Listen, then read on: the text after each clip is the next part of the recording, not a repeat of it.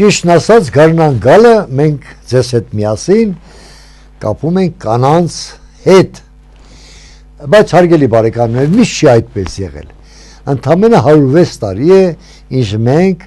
Գառնանգալը կապում են կրկին անվան հետ։ Հետաքրքիր է, չէ՞։ Բանն այն է, որ 1916 1910 թվականին քաղաքական գործիչ սոցիալիստ Գերմանիայի կոմկուսի հիմնադիրներից Կլարա Ցետկինի նախաձեռնությամբ ստեղծեց մարտի 8 տոնակատարությունը։ Այս ժամանակ խորթային տարիներին մենք ասում ենք կանանց միջազգային օրը։ Հիմա մենք կանանց միջազգային օր նշելով առաջին հերթին մենք նկատի ունենք ոչ թե աշխատավոր, հեղափոխական կանայք 106 տարի շարունակ մանավանդ հայերս նշել ենք մեր սիրելի կանանց, աղջիկների, մեր սիրածների, մեր բալիկ բալիկ աղջիկների, այս այսպես ասեմ, նրանց տոնը եւ հատկապես մայրերի տոնը։ Ես հիշում եմ իմ սերնդակիցները առաջին ծնծաղիկը հատկապես բերում էին երկու հասիատիրորջ մայրը եւ սիրած ուսուցչուին հետաքրքիրը դեպք կատարվեց այսպես ասեմ իրադարձություն եղավ հատկապես որ մարտի 8-ից հետո հանկարծ որոշվեց որ ապրիլի 7-ն էլ պետք է լինի կանանց նվիրված այսինքն թե մայրության գեղեցկության օրը որոշեցին տոնեն ապրիլի 7-ին կանանց համերաշխության կամ նրանց իրավունքների պաշտպանության օրը մարտի 8-ին եւ հայերս մեզ ուրեմն իվերուս վերապահված հումորով որոշեցինք որ մարտի 8-ից մինչև ապրիլի 7-ը հայտարարում է կանանց միամսյակ Աշուշ այդ կատակի մեջ կա մի մեծ լրջություն բանն այն է որ հայերս դեռ այն գլխից մայրապաշտ են եղել կնամեցար են եղել մեր անահիտ աստվածուհու նանե աստվածուհու այլոց անուններով միջև հիմա այլ բարեր կան եւ նույնիսկ տոնախմբություններ կան, որոնք մենք նշում ենք։ Հետաքրքիր է, որ աշխարհում մարտի 8-ը տարբեր երկրներում տարբեր կերպ է ընկալվում։ Նու հասկանալի է, որ առաջին հերթին կանանց սոցիալիստական գաղափարախոսությամբ տոգորված երկրներում կանանց տոնը նշվել է որպես մարտի 8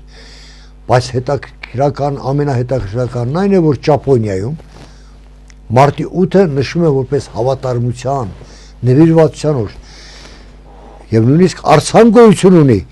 Շիբույա կայարանում կանգնեցված արցան, որտեղ ուրեմն հավաքվում են հարյուրավոր մարդիկ ամեն տարի մարտի 8-ին եւ նշում են հավատարմության նվիրվածության օրը։ Պետք է ասել, որ դա ոչ մի կապ չունի կանանց հետ, ոչ թե այն բանի համար, որ կանայք նվիրված ու հավատարիմ չեն, այլ այն բանի համար, որ այդ արսանի պատվանդանին կանգնած է ընդամենը շան պատկեր։ Դա ուրեմն Հաչիկո շան արցանն է։ Հաչիկո գուցե հայերենում հնչում է որպես շանանուն, բայց իրականում նշանակում է ճապոներեն 8-րդը։ Ինչու 8-րդը ես չգիտեմ, գուցե այն բանի համար, որ նա վախճանվեց մարտի 8-ին եւ այդ պատվին արժանացավ որ արցան լինի, Հաչիկոյի լեգենդը տարածվեց ամբողջ աշխարհում, որովհետեւ նա 10 տարի շարունակ իր տիրոջը, երբ որ սովորության համաձայն ճանապարհում էր աշխատանքի եւ դիմավորում էր, տիրոջ մահից հետո 10 տարի շարունակ սպասում էր այդ Շիբույա կայարանում, որպեսզի դիմավորի այն աստիճան որ սկզբից չէր ցանկանում կերակրվել կայարանի աշխատողների կողմից հետո սովորեց դրան բայց չէր կարողանում բաժավել այդ սովորույթից եւ իր հավատարմությամբ շահեց բոլորի համակրանքը եւ ահա նրա մարտի 8-ին վախճանվելուց հետո կանգնեցվեց այդ արթանը գիտեք մի կողմ թողնենք Հաչիկոյին, սա ուղակի զուտ ես ինչ որտեղ հումորի համար, ինչ որտեղ որպես փաստ հիշեցի, ասենք որ գարնան զարթոնքը գարնանային այս հրաշ եղանակը, որ մեզ մղում է դեպի կանանց նկատմամբ ավելի ուշադրության, պետք է նաև իր մեջ ներառնի բնականոնաբար զրույց կանանց մասին։ Այսպես է մի թեվավոր խոսք կա, թե եթե մի քիչ ծուր լիներ Կլեոպատրայի քիթը, ապա պատմությունը լրիվ ուրիշ կերպ կընթանար։ Սրա մեջ անշուշտ ճշմարտություն կա, մանավանդ որ աշխարի շատ ու շատ պատերազմներ, շատ ու շատ դավադրություններ, շատ ու շատ վերափոխություններ կապված են կանանց հետ, պատմական կանանց հետ։ Գիտեք, մենք հայերս առանձնահատուկ վերաբերմունք ունենք, ինչպես ասացի կանանց նկատմամբ։ Եվ թույլ տվեք ասել ինձ համար շատ հարազատ մի գաղափար, որ մեր նախնիները փաստորեն հողը այն հողը, որը մեզ ցանել է հայ լեռնաշխարը կոչեցին հորանունով անվանելով հայրենիք հայր հայրենիք բայց լեզուն մորանունով մայրենի լեզու պատկերացնում եք ինչ սրբությամբ ենք մենք վերաբերվել մեր ծնողներին այդ չեմ խոսում այն մասին որ հայրենիք ասելուց հետո հետ դարձանք ու ասեցինք մայր հայրենիք միակցելով այդ երկու սուրբ գաղափարները իրար հետ դեռևս նախնադարից սկսած հայ հայ ցեղախմբերը կնոջ դերը շատ ավելի կարևորել են ինձ թվում է այդպես քան մյուս ցեղախմբերը համենայնդեպս պատմությունը դա է ցույց տալիս մայր իշխանության մասին մենք շատ քիչ տվյալներ ունենք բայց որ կանանց պաշտամունքը սկսած Անահիտից, Նանեից, Նվարդից, մինչև ցայսօր եւ մինչև ինչու՞ չէ Միշնադար, երբ որ ստեղծվեց Սասունի Դավիթ էպոսը, երբ որ մեր էպոս դուցազունները ի վերջո ծնվեցին ջրաշխարից, ջրացին էին նրանք, բայց ծովի նարի, ծով եւ նար բարերի համակցությունն է։ Մեկ լրի բուր խմեց ծովի նարը ակունքից եւ կես բուր, որից նա հղիացավ, ինչպես հիշում եք, Սանասարով եւ Բաղդասարով։ Ահա մեր նախները եղել են ջրացին եւ նորից ու նորից փաստորեն մենք պարտական ենք մայրական այդ պաշտամունքի նկատմամբ ունեցած մեր սիրուն պարտական ենք այդ սիրուն, որ մենք ունեցել ենք այդպիսի դյուցազուններ։ Կնոջ նկատմամբ պաշտամունքի հասնող ցերը հայոց մեջ կարող էր այդպես երկար շարունակվել, բայց 301 թվականին, երբ որ պաշտոնապես մենք ընդունեցինք քրիստոնեություն, ողջվեց որ այնուամենայնիվ թող ներվի, ես ինքս քրիստոնյա եմ հավատացյալ, բայց այնուամենայնիվ քրիստոնեությունը ավելի փոքր նվազներ հատկացրեց։ Կնոջը մանավանդ գիրք ծննդոցում 16-րդ գործում ասվում էր, թե քո ամուսնուն պիտի ենթարկվես եւ պիտի իշխի քեզ վրա քո ամուսինը։ Ահա այդ դոկտրինան կարծեք թե դարձավ կանանց նկատմամբ ինչ որտեղ նրանց երկրորդ պլան մղելու մեղմ ասած կարգավիճակ ստեղծելու ուրեմն կանոն Չմոռանանք, որ միջնադարում մի շատ շատ շատ երկրներում, հատկապես եվրոպական վհուկների որսի անվան տակ սկսվեցին հալածվել կանայք հայ իրականության մեջ դա տեղի չունեցավ։ Միայն այն տարբերությամբ, որ հայ կանայք եկեղեցի պետք է մտնեն անպայման գլխաշորով եւ նրանք պետք է լինեն միայն նախագավթում։ Տղամարդիկ պետք է մտնեն եկեղեցի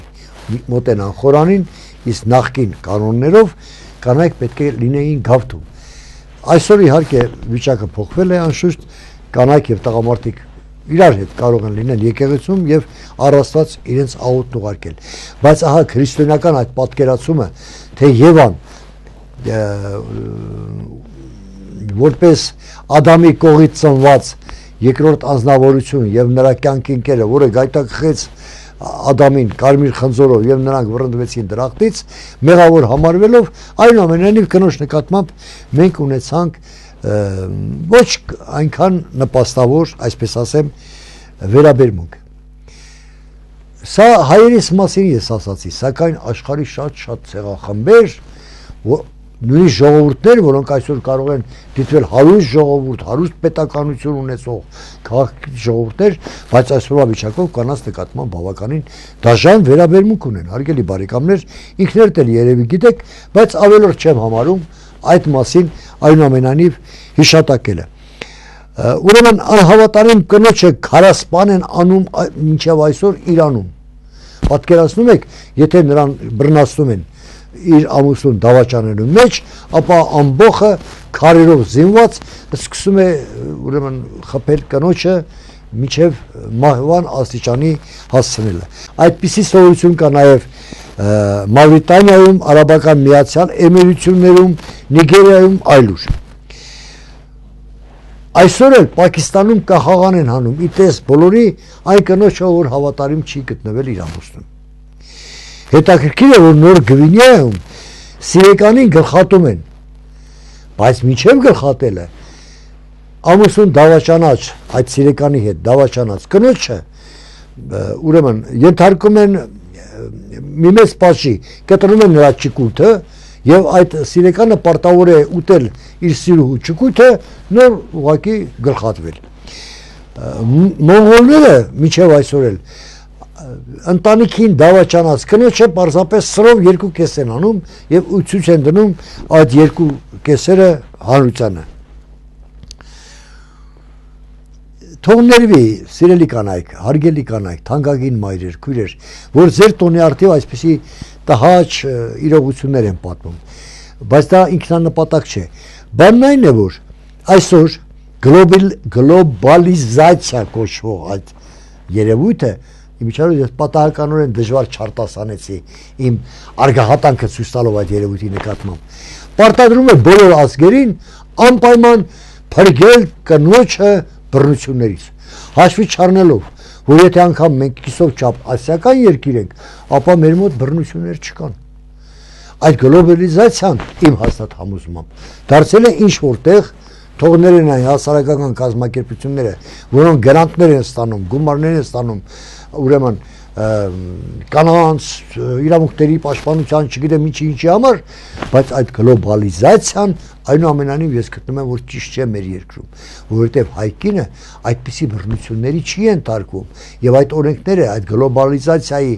ուրեմն միջոցառումները, որոնք փող են մուծում, որ տեսեք, տեսեք, պետք է փրկեն կնոջը այդ ահեղ դատաստաններից մեր մոտ ընդունված չէ։ Դրանք ստեյութին մյուս երկրների համար են։ Բայց ինչպես միշտ հայերս ձգտում ենք Հռոմի պապից ավելի կաթոլիկ Երևան եւ առաջ ընկած մանավանդ փող կա, չէ՞։ Պետք է կարողանանք այնպես անել, որ դրանք այդ փողը իրացնենք եւ գենդերային բռնության դեմ պայքար ցավալենք։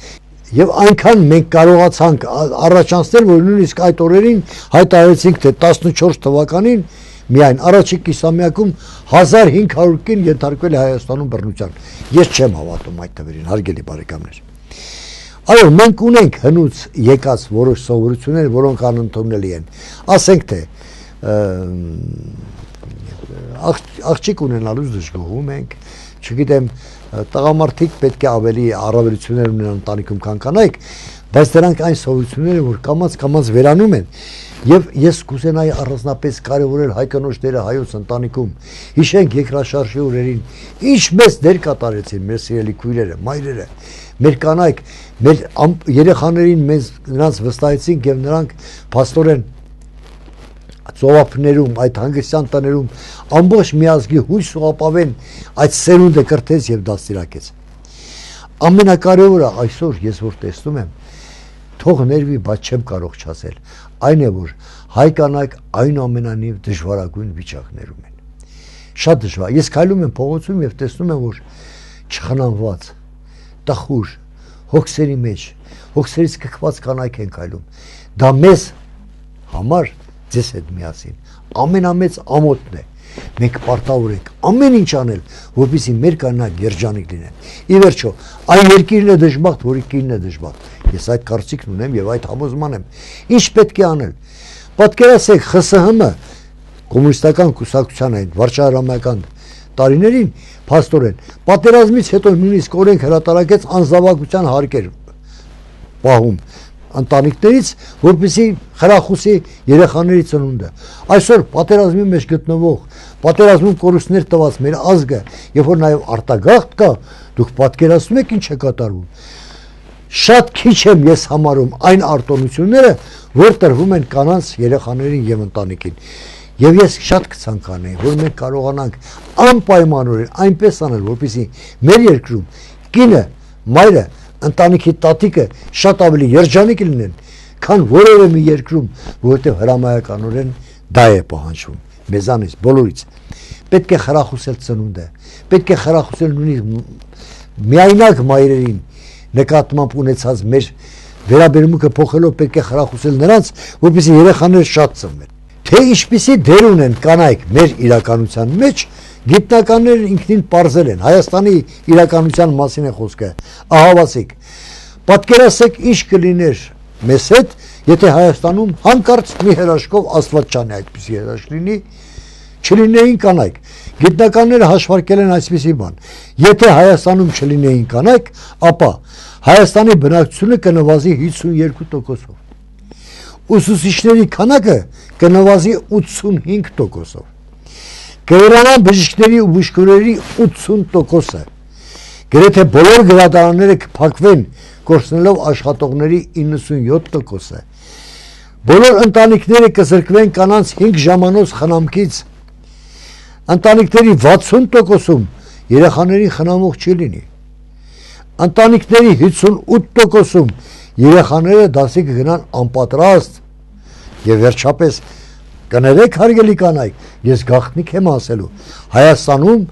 եթե հանգարց կանայք չլինեն 78%-ով կքչանա խոսողների թիվը։ Շնորհավորում եմ բոլոր բոլոր կանանց կանոնային տոնի արդիվ։ Շնորհավորում եմ մեծ տղամարդկանցս միամսյակի արդիվ եւ կարծում եմ այդ չեն բարեմաղթանքների մեջ օրհնանքի մեջ որ մենք ունենք կանանց նկատմամբ ամեն մեկս մի նոր խոսք ունենք այդ նոր խոսքը պետք է լինի շատ սիրով շատ հոգուց բխող իսկ թե ինչպեսի բարերով կլինեն այդ խոսքերը մտածեք ինքներդ